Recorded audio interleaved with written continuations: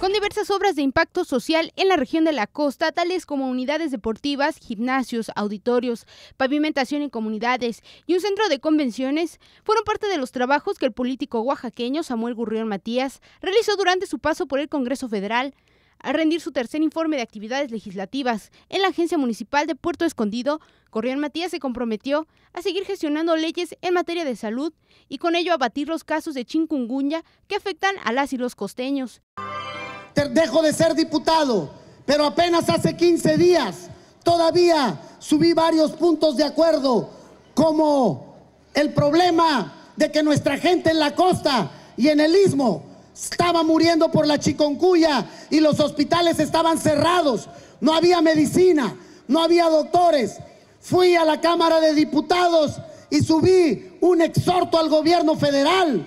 para que volteara los ojos a Oaxaca y nos mandara médicos y medicamentos para atacar el problema de la chiconcuya.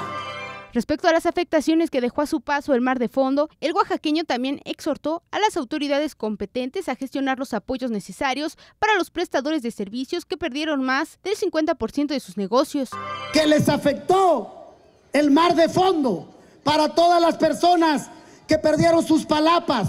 que perdieron sus restaurantes y que el gobierno no tenía el mar de fondo incluido dentro del Fonden. Y con este exhorto, el gobierno ahora va a meter al mar de fondo dentro del Fonden para que si alguna vez vuelve a pasar, todos los que viven en la playa puedan tener una retribución económica para resarcir el problema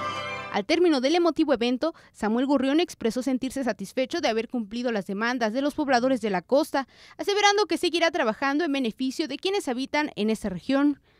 Con imágenes de José Antonio Reyes, reportó para MBM Televisión, Vicky Ramírez.